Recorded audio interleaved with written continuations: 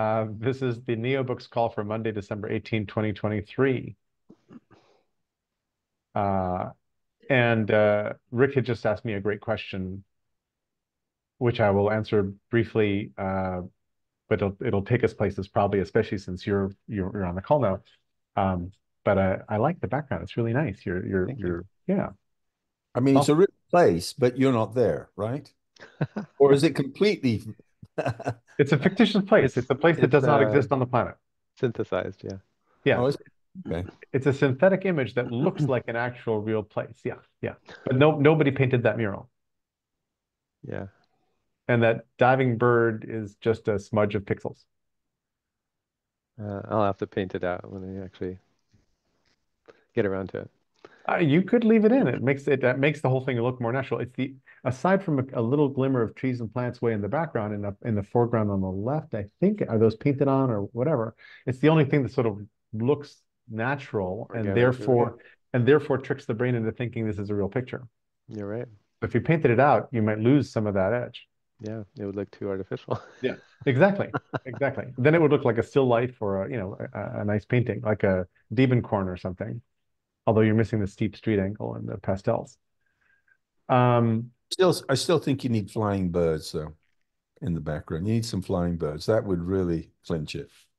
Well, there's the one that lo looks like a pigeon diving to me. Yeah, it does. Yes, yeah. I agree. But I'm saying if you had it, then then it would really, then you would really be a true fake. there you go. Um, so Rick's question to me was, what is the leading edge of the NeoBooks project? What is sort of the cutting edge of where we are? Mm -hmm. And um, and and I'm now forgetting where I was heading with that. Uh, one of the things was that one of the nice things about Scrivener kind of, and I never got far enough into Scrivener to see it, but because it's a book, it's a manuscript writing piece of software, it's very good at saying, here are your chapters and here's how complete they are and here's what they sort of look like. And Pete, I've been imagining sort of a similar kind of roll-up tool for markdown files that would let you sort of, that would go and infer from your outline. It, it would take the logic of your outline and say, hey, here's what your book looks like right now. And with some metadata or some marker or some you know other data inside that piece of the app or whatever let you go progress you know reports like this one's un unstarted this one is first draft this one is ready ready to go it's been checked off uh, whatever whatever. Uh, this one has been posted and published for other you know well you don't even say that because the way neobooks work like all the pages that have any content are open for anybody's commentary or review because they're on github. So uh, so in a different setup, you might actually say, hey, this has been posted for public review. Um, but anyway, that's that's a that's an interesting thought. That, that felt like one place because as I sort of write on the design from trust thing, and I'm trying and, and I keep going content and then meta, content and then meta. So I write something with that that's within the body of the idea of design from trust, and then I'll be writing like okay, I need to describe how thinking like a neobook works. Like, how do you write a neobook, which then depends on writing a piece about writing wikily, uh, because it's it builds on the whole notion of writing in a, in a social manner for a wiki and also structuring language so that it works as a wiki but then also works as a book. So that's meta. So I go off and I do some of that, and then I come back and I do some content. And it's it's uh, so far not throwing my brain completely off, and I don't spend enough time doing it. But um, I can tell that as the pages mount up and as the content mounts up and the nuggets kind of mount up, I'm going to get increasingly confused about where I am and what's up. Um, so I'm and a lot of my not getting lost in the long run kind of depends on my clarity now. And so I, I started a, a page for nuggetization, which is like, how do you choose something? How do you know when something is a, is a nugget? And what is what is the smallest atomic size of a nugget that's comfortable for this for these purposes, that kind of thing. But I haven't written that much that much into it. But I, but I'm realizing that those are the things that need to happen in order to explore the space. And the last thing I'll say is one question that came up in our last call, I think, was um, how do you tell, um, how do we write links so that we know that one link should be transcluded in and another link is just meant to be a link in the text to something that we leave outboard uh, to refer to. And how does a nugget do that so that it, the nugget is reusable, but the links might actually be dependent on the author using the nugget, if that wasn't too confusing. But you know, uh, Obsidian lets us do transclusion, uh, which or a light form of transclusion, which means if you put a bang mark in front of a link, uh, it'll pull the text from that other page, that other markdown page becomes part of the page that you're writing right now. You can't go in and edit that page in the current page that does the transclusion. You have to go back to the original. And then Pete's current massive wiki builder, which is the single, the, the site, the static site builder that will generate the new site anytime it detects a new page in your vault from Obsidian, um, doesn't include a way yet. Uh, he hasn't the time or the resources and we have in front of him to go right away for the website to reflect that transcluded included text. So that's one of the little pieces that would probably wind up needing to be built in order to assemble a NeoBook. And that's kind of a piece of what I was thinking. Uh, Rick, questions, Pete, questions, explanations, thoughts?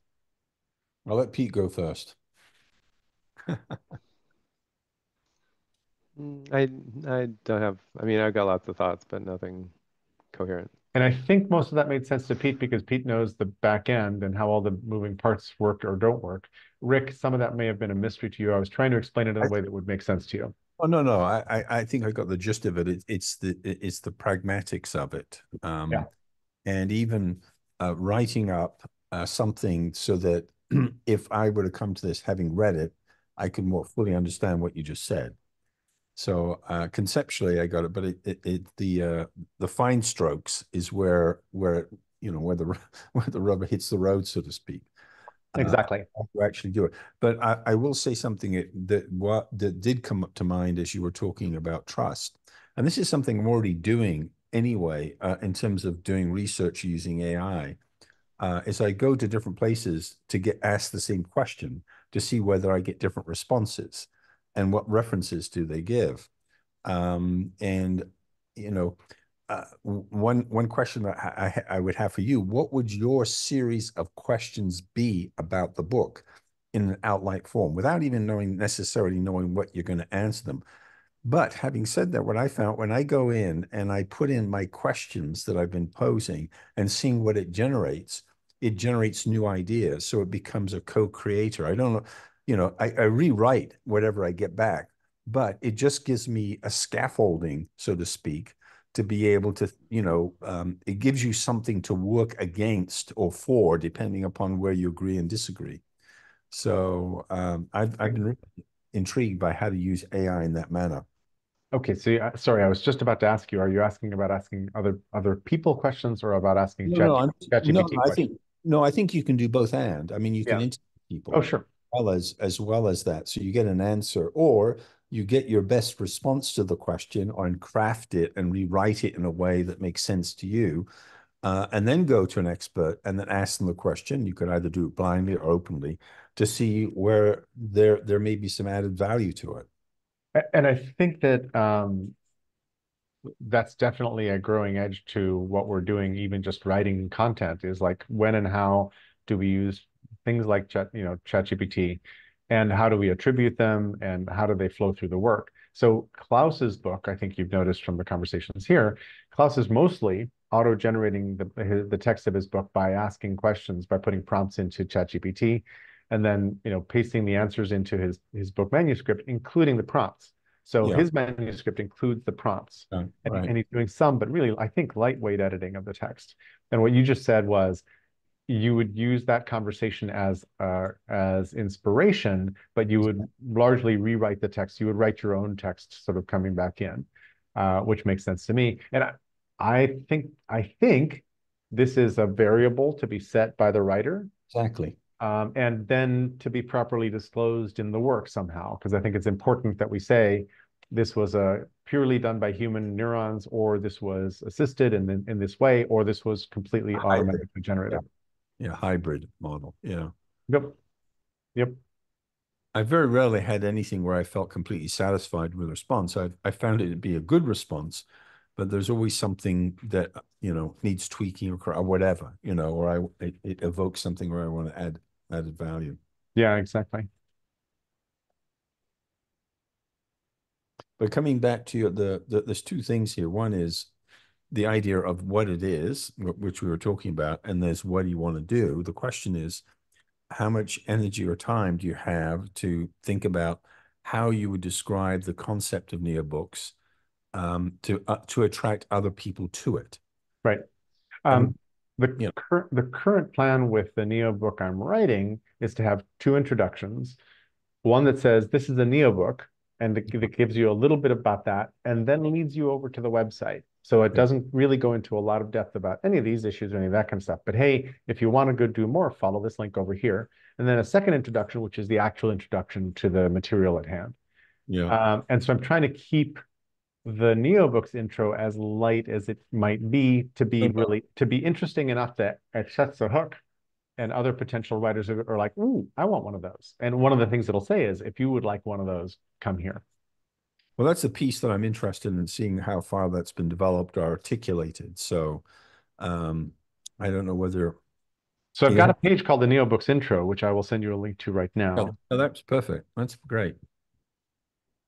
Because Uh, to, to me that that that uh, I'm just curious to to learn more about um because because I see that as something as being such a foundational thing, and I, I I think it's really important to have that. Uh, I'll look at it and uh, And so this page includes the problem that I mentioned a moment ago, which is that in the middle of the page, you'll see a bang mark in front of a link. Uh, Uh-huh. that is, that is meant to be transcluded in because the text that's in that in that linked page, which is uh, nuggets are really powerful or something like that. That's the phrase. Please, please follow that one link because there's a bunch of other links on the page. That's the only link that's important because I'm considering it content of the intro, the actual intro. mhm. Okay, Uh, but that should give you a that should that should give you a pretty good orientation to what's gonna what I think now is the explanation needed that's in the book, in Mhm. the in this Neo book. No, this is the, just to clarify. This is the Neo book about the Neo book or the Neo book about trust. Sorry, just Um, clarify. actually, eventually both, um, but right now it's the first introduction to the Neo book about trust. Okay. Right. Exactly. Uh, but but what that got me thinking about was there needs to be a Neo book about Neo books, and this this front chapter would very likely be the front chapter of that as well, Yeah. the intro to that. Mhm. Plus some more text that to sort of flesh it out as an intro to explain what is the path through the logic of that book. Yeah. Make sense? It, it, it makes sense. It's sort of like chicken and egg, really, isn't it? I mean, It's we're very much it's very much like inventing the chicken while bake while poaching the egg sort of thing. It's like ah, a little little puzzling here. I, I, I- I'd like to see the iterative process of how one informs the other. yeah, Um, because you're in the discovery phase at the moment of how to do it and how to set it and make it make it um attractive for people to say, okay, this is what a Neo book is. exactly. I have a, a an amorphous feeling for what it is or could be, but um, um, I'll be interested in learning uh, from your work in progress. Thank you very much. Uh, What about Pete? Do you have any anything to add to any of this I um uh from the techie side as well? all sides. I actually have um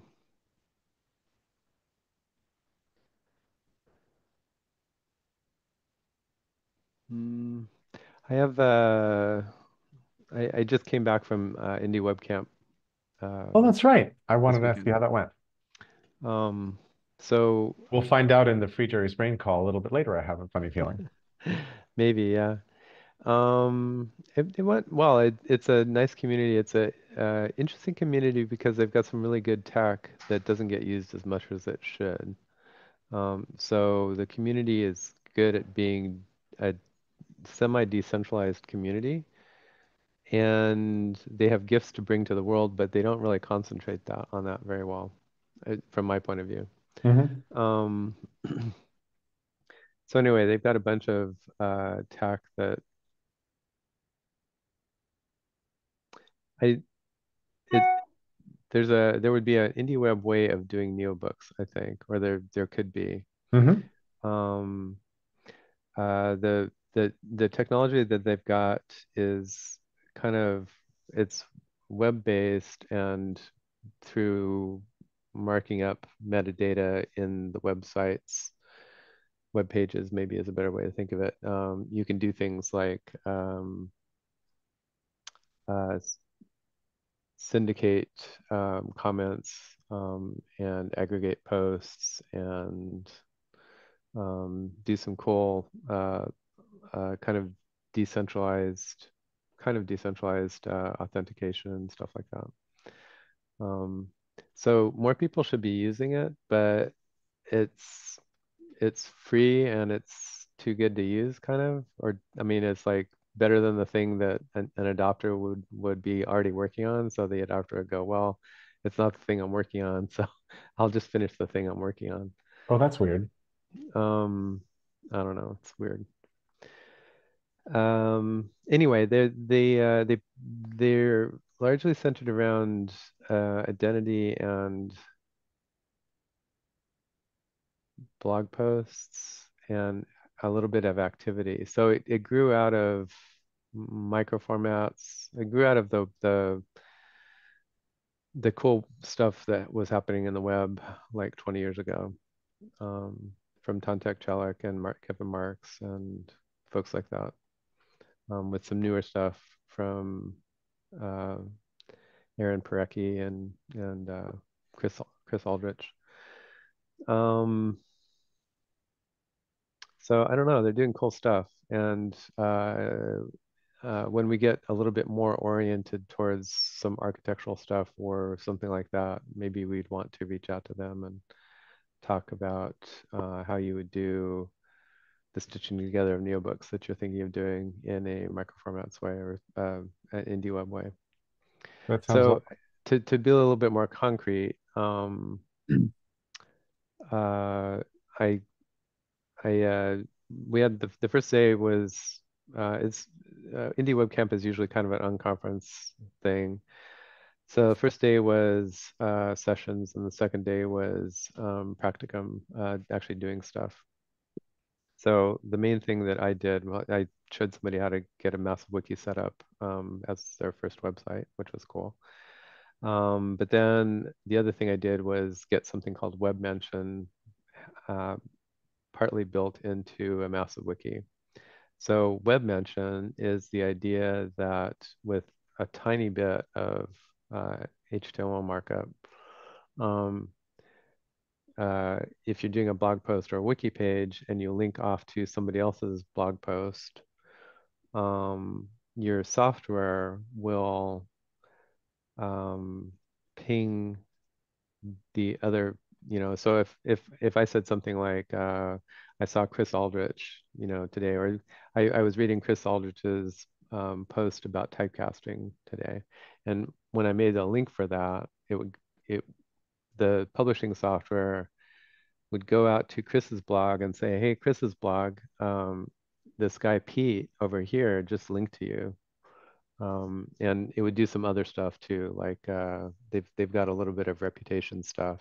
You know, it, it it's possible at least to to get it for Chris's website to go, yeah, I don't know who that is. I'm going to ignore it. Or it looks like they're like it looks like Chris knows Peter from some other connection, and then I'll bubble it up to Chris himself so he can he can read it, right? And then Chris's website will also, if Chris thinks it's okay, um, he'll start accumulating, you know, mentions like it'll be Chris's blog post, and then you know Peter Kaminski over on this this site mentioned blah, and you know, but this is the snippet from it, right? And so on and so forth. So that's a web mention. and just Um, just briefly, so do web mentions sort of lightly try to fill in some of what the web doesn't do because the web is kind of one way, and uh, Ted Nelson's original vision was that there would be sort of two pretty pretty active two-way links so that if somebody Yeah. mentioned you, if if if if a year after you wrote something, somebody pointed to it, uh, in Ted Nelson's vision, you'd you'd be notified and maybe even make some money. yeah. Uh, but um, because the web doesn't work that way, web mentions when- do a little bit of that. when I started doing my homework thing, um, I had in mind I'm just going to be able to make it so that a massive wiki will ping another website, you know, and say, hey, I, I just mentioned you. And then ultimately, you want to be able to do the converse, right? You set up the right stuff in the massive wiki, and somebody mentions your page, and that page pings you and says, you know, or you, maybe it gets added to the bottom of the page as a comment or whatever. Mm-hmm. Um, that's where I was starting off with, and and we got one one of those directions actually working, kind of in a real hacky way, but it, I mean in a real prototypey way.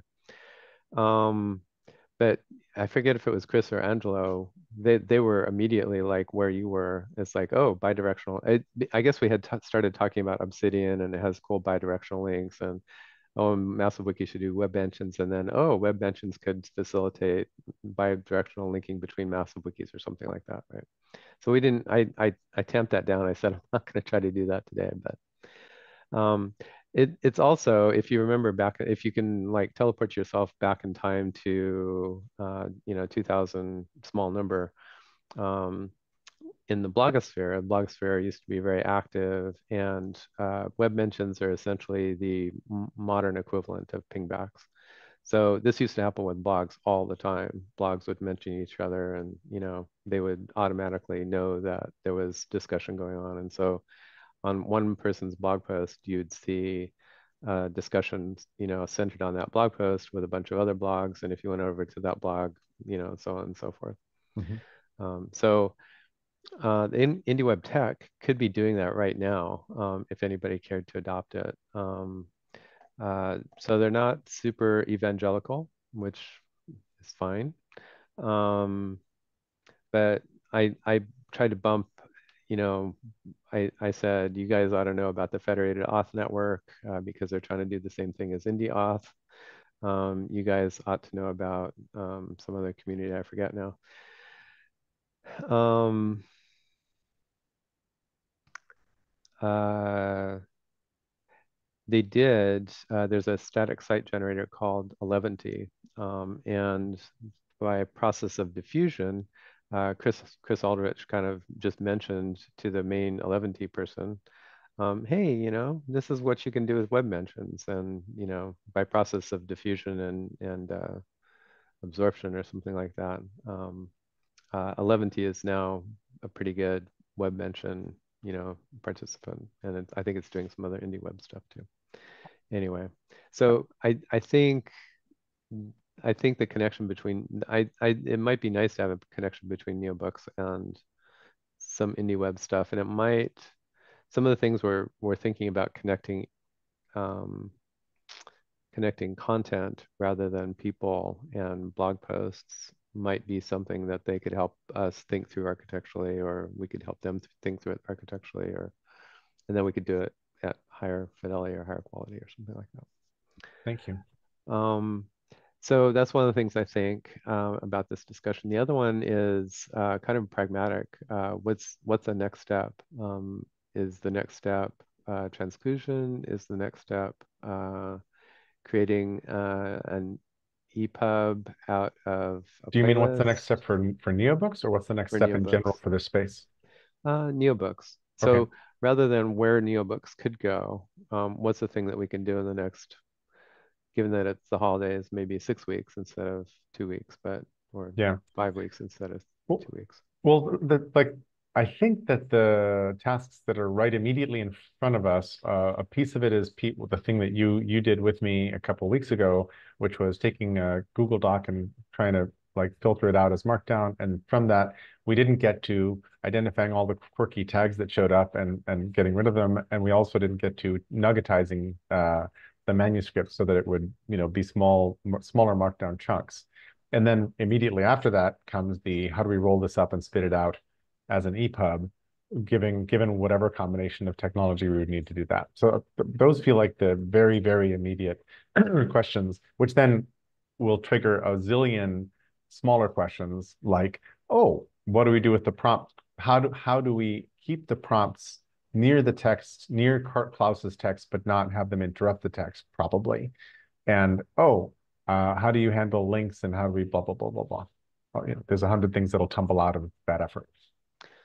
Um, for my part, I'm interested in a tech slash architecture SIG of NeoBooks, um, and then having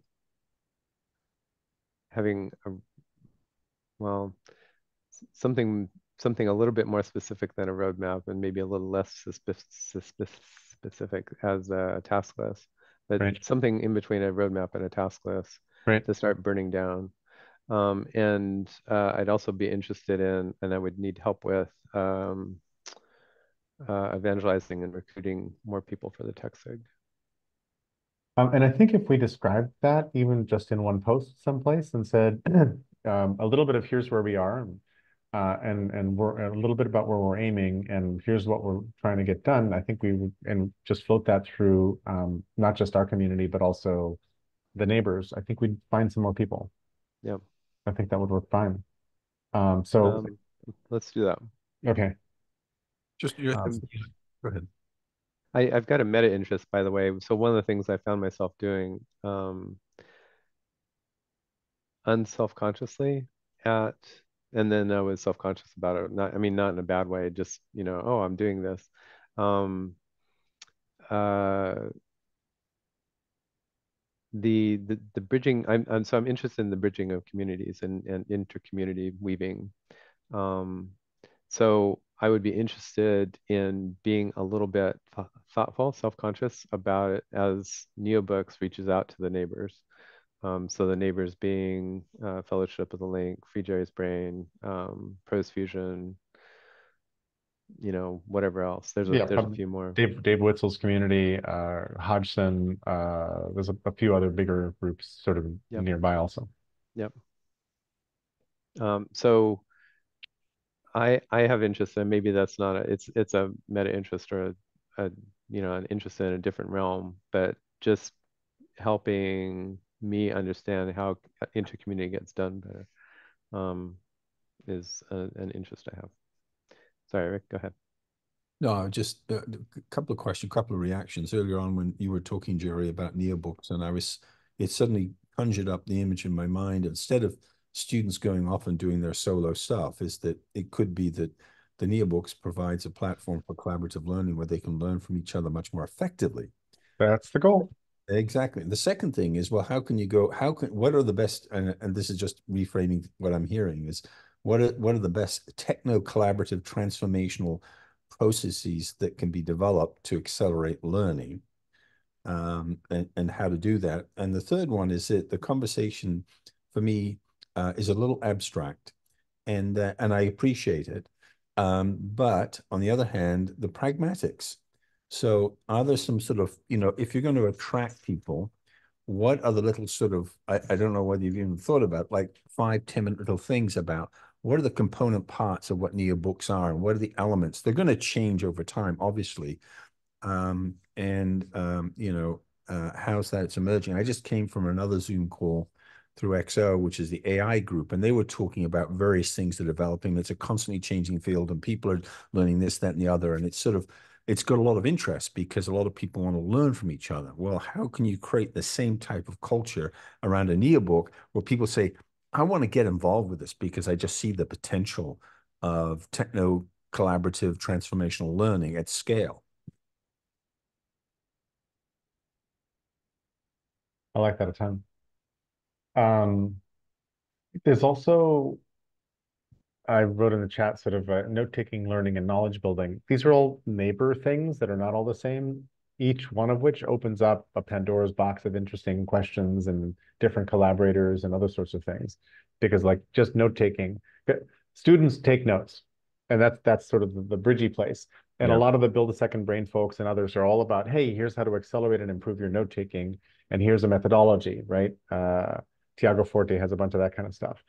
But then there's a difference between sort of learning how we learn, that's a whole other kind of thing as well. And then how we create community or shared knowledge is another thing that's right next door. And we need to figure out what are the comfortable bridges that that let us connect those those kinds of things. Um, and then what what technology is needed to make that easier. A, a lot of that, a lot of what I just described is very likely just social, not technical.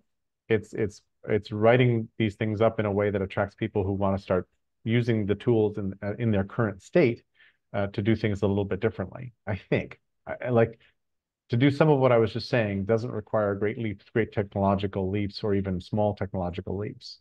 It requires people collaborating differently.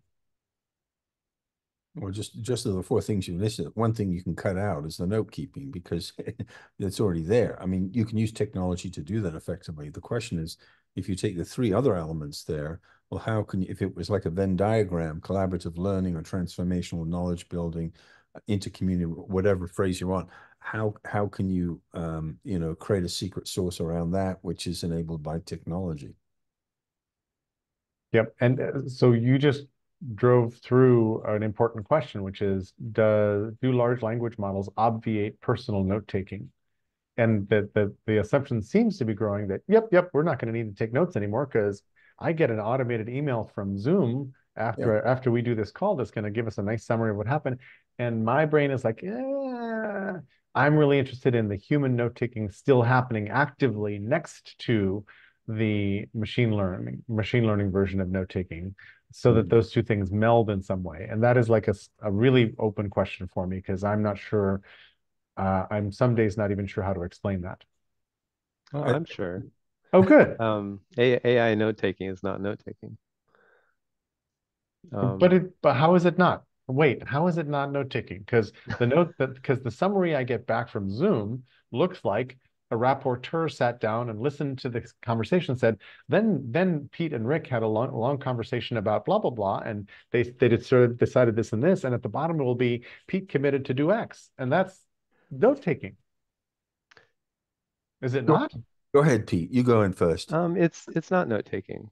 So note taking is a human activity where a human is uh, uh, listening and probably participating in something and taking notes. So the human is doing a curation step as she's note taking. So, um, so you might say that an AI can produce a summary of a call, um, but even an AI summary is different than a the human summary. And the so a couple things happen in note taking. One of the most important things is the curator of the notes is learning and making connections and things like that as they're as they're taking the notes right so um, probably they're if they're good if they're so we we don't do good note taking. That's another another story. But um, if somebody's doing good note taking they're drawing little diagrams they're making connections to other other notes that they have and things like that. The ai has not done that. Um, even if you're reading um, AI, an AI summary of a meeting, the the interesting part is not happening when the AI has tried to rearrange the language of the transcript or whatever into a different form. The interesting part, the thinking part, the the note related part is the note reading where you, Jerry, are reading a, a AI summary of the note of the, the meeting. And again, forming connections, making assumptions, uh, hopefully going back to the original because the AI note taker is thoughtful enough to put links back to the right part of the transcript and going, huh, did Pete really say that? And what did he really mean by it? I think the AI might have caught something that I didn't. Let me let me go back and actually listen to it again and and um, perform human comprehension on it rather than language reassembly. I, I don't disagree, but I'll just say I think there are different tactics, and there are some times when I deliberately do not take notes because as soon as I get into curation mode, I can't be fully listening because I'm trying to do things. So I've been going to more meetings where I just totally try and listen without trying to curate. And then, but what I have found when I look through some of the notes, um, I, I, say yes and but it didn't do this or it didn't do that. And to me that is that's um, uh, a different activity that can go back and look at what it missed. And then of course um, you know dynamics can go along in a group where everyone missed what the hell was going on. You go back and say well did you really see what happened in that dynamic? You're clueless about what happened there. Did you see the triangulation that went on in that group? You missed it all. So so an LLM for me is is not a tool that generates understanding. It's a power tool that you use with instances of language to do human understanding. Mm-hmm. So it's it's an adjunct to somebody, you know, attending a meeting and then looking at a AI generated summary of it and thinking about how they match and how they don't match, um, thinking about uh, overall flow in a way that you couldn't before. Um, so for me, that that metaphor of a power tool, you know, I can I can I could make a wooden dresser um, with you know a chisel or or something or or stone tools or something like that but I'm a lot more effective with power sander and a table saw and you know uh, screws and you know a, a electric screwdriver and all that kind of stuff right so the electric screwdriver and the table saw did not construct the dresser in that case the humans still did but he or she could have done it a lot faster and gotten to a, a more constructed place with the power tools than without the power tools. So two things, if I remember both of those things.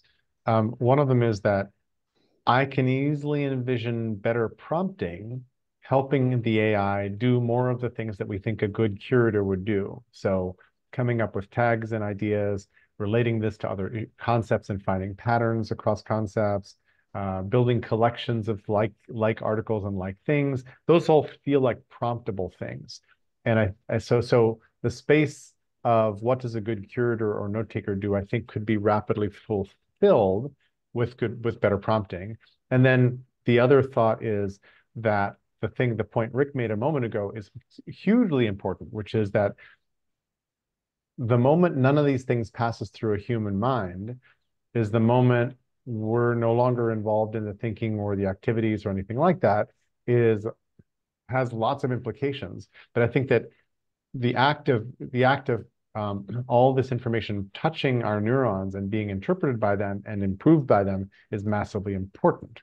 So even though I think that the the the the AI could be made a whole lot more capable in terms of the functions of note taking and curating, I think that the human role is really, really essential if humans are going to stay in the loop and be part of decision making at all. Um, otherwise, so uh, since the earliest days of the brain, there was a feature where you could crawl a website or you could crawl your file system and it would create a, a, a web of links. I decided immediately never to use that because I didn't want anything going in my brain namespace that hadn't passed through my eyes and my brain because I knew that the namespace was important and I didn't want to clutter it with a bunch of just like, oh, that showed up on a crawl. Um, and that was just a design decision or a use decision I made a long ago, but I think it's in the same realm. It's like, I, I think we need to stay connected to this, the decisions being made in and around us, even as the AIs get more capable. Well, I think it, it is going to get more capable and it's going to be able to take on some of the human dimensions that perhaps humans don't do a very good job of. For example, looking at group dynamics, listening tone of voice, emotional tone, etc. Um, and it, it it might capture things that you're not aware of as it's happening.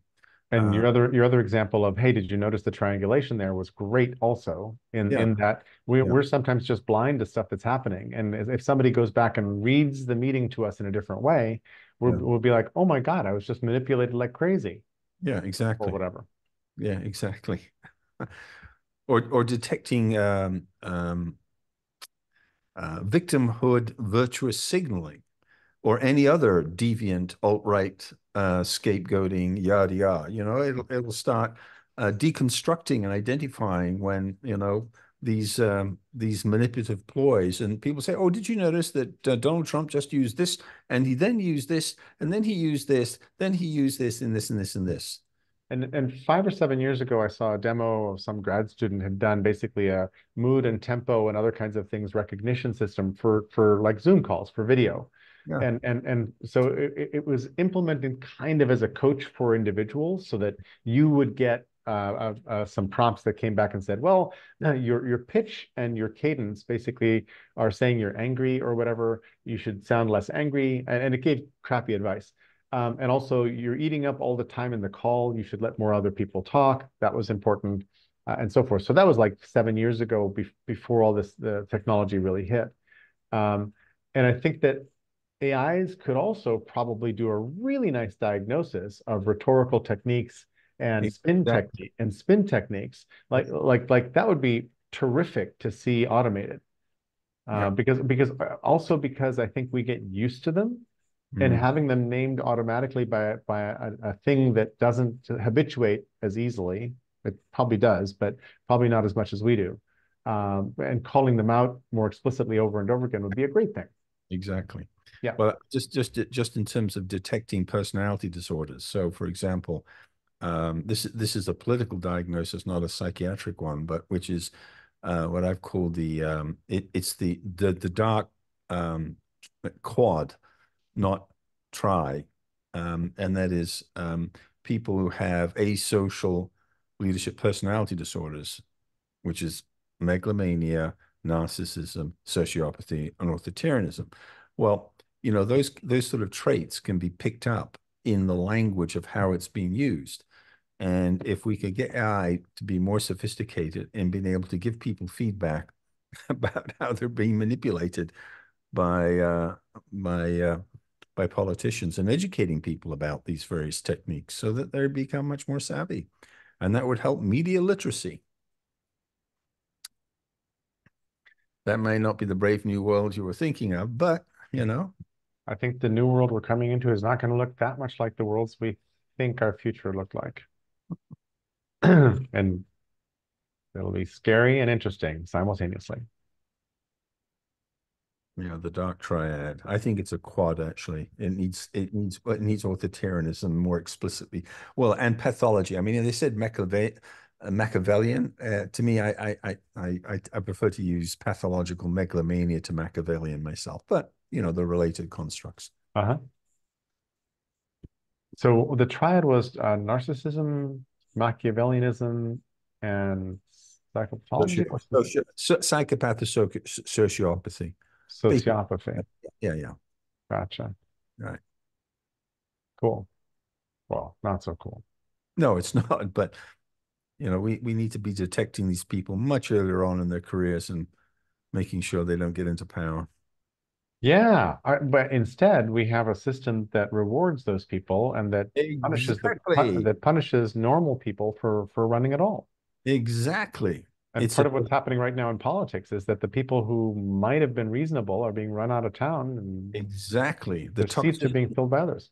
Yeah, that's it. Well, how do you take on the dark side? How do you take on the dark side? I think our next meeting should be held in a cave and we should all wear Rebel Alliance clothing.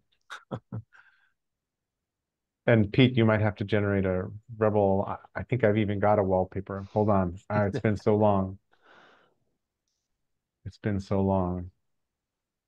Uh, could have sworn. The other thing that I have, uh, you know, is, is, will AI get to the point where it will instantaneously assess people's um, quality of evidence, so that when somebody makes a claim, it automatically is is evaluated to the degree of truth with citations that refute the claim.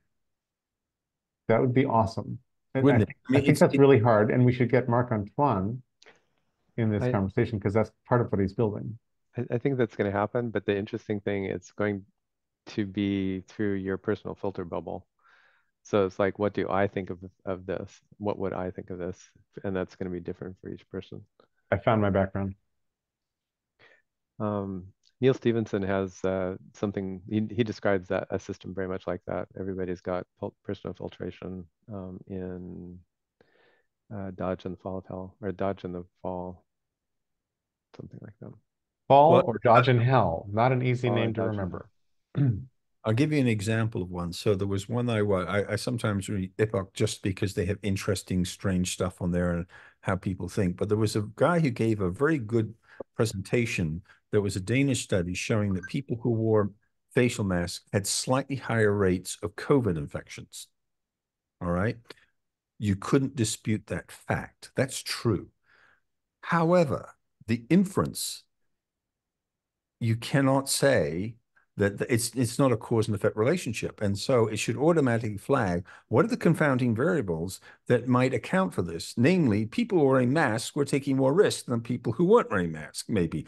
There's so many variables, and people they immediately jumped on this saying, oh no, there's no point wearing masks. Yep. You know, Yep. so I mean, you can look at facts, and then you can look at interpretation, and then you can look at the the the the uh, fallibility of the interpretations. It's sort of like the famous study of bombers that were coming back uh, with lots of holes in them. And the military wanted to reinforce the parts where all the holes were. And a really smart guy said, no, actually, you want to reinforce the places where there aren't that many holes because that's the ones that aren't making it back are are dropping because they got hit in those spots.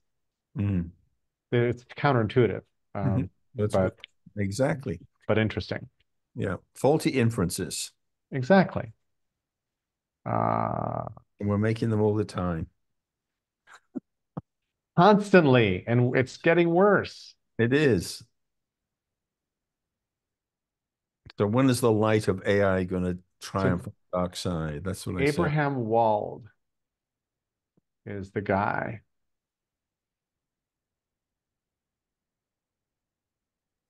And what's the principle? Uh, Wald's principle. I don't know that it has a name, but it's uh the damage we're not attending to is the article I've got on this. I think there's, yeah. There's a principle that a named principle. Well, it doesn't have a, it, I, I, the the reason I ask is because we should be able to refer to it more easily than that time the guy at the World War II physicist, blah, blah, blah, you know. You like- know, I would love that. I think that's great. Use AI, man. Find it. See what it comes up with. Yeah, good point. Um, here's Wald. It might say somewhere on his page. I haven't looked. He was an operations research guy. It's actually called survivorship bias, Yeah, kind of. that's, that's what I'm looking for. Yeah. I, I Uh, think. But but I, survivorship bias, I'm not sure if it sort of means exactly that, but it could be. So I was able to get ChatGPT to tell me who that was just by saying, who is the guy that talked about holes in World War II airplanes? Oh, good. And it worked? Yeah, worked Cool. great. This counterintuitive approach greatly contributed to improving aircraft survivability during the war. I love that. That's awesome. Uh, yeah, it says survivorship bias or survival bias. Survival bias is a little bit better. Uh-huh. So it's so it's the Wald's observation is actually avoiding survivorship bias. So Exactly. that's the that's why it's not a good name for it. Right, right, exactly. There's a whole wonderful motherload of stuff around lessons from failure. There are several books titled something like that. Uh, roughly, it's just a it's just a lovely, lovely thing. Um, it's one of my favorite little fissures in history to explore. Um, other thoughts for right now? Uh, we can also fold this call a half hour you to. before noon if Yeah, we want to. that's but- fine. Yeah, just a, um, a question for future, and that Yeah. is, how can um, we be more helpful to what you're trying to do? And are there other players that might be interested in learning more once it's in a form that could attract more people to come and say, "I want to play here"? Uh, thank you, Rick. Um, I love the questions. And I realize that I've been working toward goals that are near but not on what you just said, meaning I'm Mhm. trying to write a Neo book about design from Right. trust, and I'm trying to explain what Neo books are. But there was another goal we talked about several calls ago, which is like, hey, when is this thing, when is the cake baked enough that we can show people in the window on the oven and say, look, Yeah. there's, a cake baking, you might want to join the cake baking party.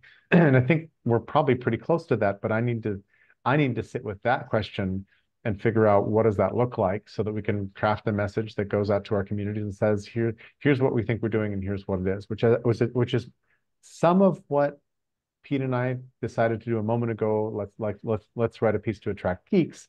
Um, but I think that this is a two-parter. I think this is a uh, there's a piece of it that's about um, technical people who can who can help, and then there's a piece of it that's about any and all writers. Yeah. You know, uh, and and writers and improvers. I mean, Yeah. neo books only get interesting if communities arise that start treating the nuggets and subject matter as things they would like to improve, much as volunteers improve Wikipedia page entries. Exactly. So one one thing we did uh, mention was the the idea of alternate weeks, having something that where a piece of writing was shared, uh, where outside people can come in and they can get a sense, you know, a little brief introduction. Here's a bit of writing, whether it's what you've just written, and then you know, uh, ideally it'd be nice if it was on some or someplace where people can go to it in advance so they can read Right. it, uh, and then use that as what what emerges out of that discussion that would enable that writing to go uh, and flourish else, you know, whatever direction it needs to flourish, you know. Um, that's really interesting because uh, at first I thought, well, we've kind of been treating working with the with the actual writing as a thing we're like doing separately from these calls. Like we're not we're not using these Uh. calls to workshop texts. And Pete and I are, were staring at like Klaus's manuscript, going, well, okay, how do we get more people to comment on it? How do we get this edited so that it looks like a book? And then on the other hand, I'm like, it would be a great idea to have workshoppy uh, sessions around texts here. In particular, if we can split our brains between the content itself as a book and the content written as a neobook. So what I what I mean is some of the feedback would be like, hey, it didn't make sense when you went from this statement to this statement to this chapter. And then some of the comments could be like, hey, there's a nugget over here that's not carved out as a nugget. It would probably be better living, you know, separately like that. And to get Yeah. to that second thing, you know, we would need to be more complete with the nuggetization of the other texts that are just long, you know, long Google Docs. But my, I you know, my, my part would would, you know, be happily critiqued in that way right now. Uh, go ahead. Yeah, I mean, I, I I think there's different ways of doing it. You can sort of using a zoom lens. You could have something that's zooming out, look at the outline or a chapter or the questions for a chapter or little nuggets. You know, the the the person who brings something can decide the zoom lens. And, and to me, it's just the experience. Uh, it, you know, this is not final work. This is work in progress, where people can come and, and use it as a sounding board for things. Uh, I mean, that's what I would be interested in is using as a sounding board for something, whether it's on Substack or some, whatever it is, and you know, trying to create a learning community about um, how neo books can evolve over time.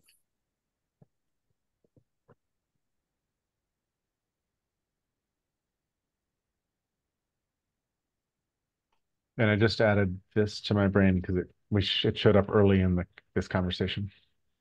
Um, cool. So, but you know, uh, I don't know whether Jerry, you want to start the you know ball rolling with a with one session in the new year where you invite people in and have a little.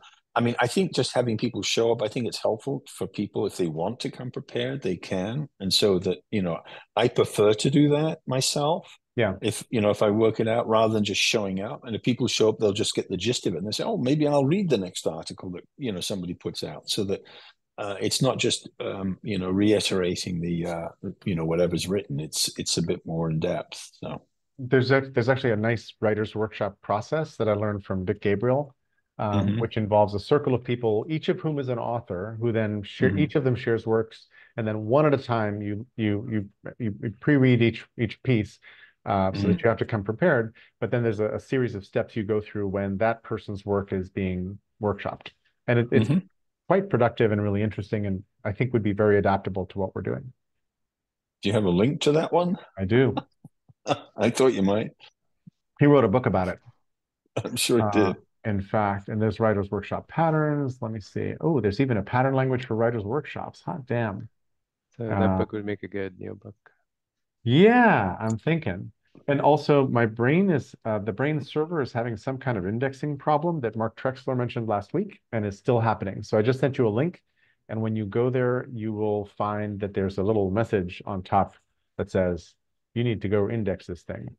So I have a I have a trouble ticket into the brain people to try to fix that. All right. But writers workshops are cool. Thank you. Uh, Rick, thank you for all the great ideas. That was really um, totally fruitful. And I think we're thinking along very, very similar veins, uh, Mhm. just as evidenced It- by your your questions and commentary and curiosities. Well, it's it's somewhat of a divergent generative mode, and now it's sort of okay. Let's let's converge on something and see where this could be. You know, going from the abstract to the pragmatic. So Yep. It's I- a circular process. And uh, an acquaintance from a conference a few years ago pinged me on on LinkedIn, and I and uh, he said, "What are you up to?" And I said, "Well, I'm trying to write a book about design from trust." He said, "Oh, I'd be really interested," and I haven't replied yet. And I'm like, I should invite him into the conversation, right? And I- and I, I I- I'm like, oh, I have to think through what that means and how to compose that and wh where to point him so that he can step into the conversation, which probably means, Pete, I write a couple pages. I, I certainly already have like how to write your own NeoBook pages in like that's already fleshed out starting. They're not done, but but they're they're sort of in progress. But there should be another landing page for anybody who it's like, hey, if you're interested in writing a NeoBook, start here. That then points into the different resources. That'd be cool. Okay, I'll go create. Actually, one, one, one last thing, actually, Yeah. and that is, uh, you know, Klaus has already done it. He has a story behind it. It could be that one of the sessions could be his story of doing, because you know it, but other people don't. And the Right. question is, would that be of interest? This is the product. This is it, and then you hear what what Klaus went through to be able to do it. Now, there's going to be many different pathways, but that's the the the the, the beauty of collaborative learning is how people use the technology in different ways. So. So maybe have Klaus have Klaus's, you know, that's that's zooming out because he's got the book, but you know, how can he tell his story in a way that and that could be recorded, it could be useful for uh people saying if you want to let, hear about how Klaus did it, here's a recording of, of and this is the qu- questions we had with him. You know, short presentation or whatever, and maybe something and just, you know, take it from there.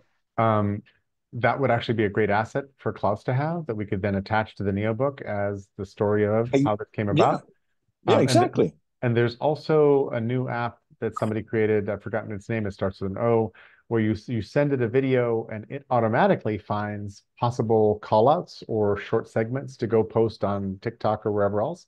But it, it'll basically uh, nuggetize. I think it does some nuggetizing of its own, but then it also does some production so that you, it hands you, I think, finished and ready to upload snippets uh, of pieces of a conversation.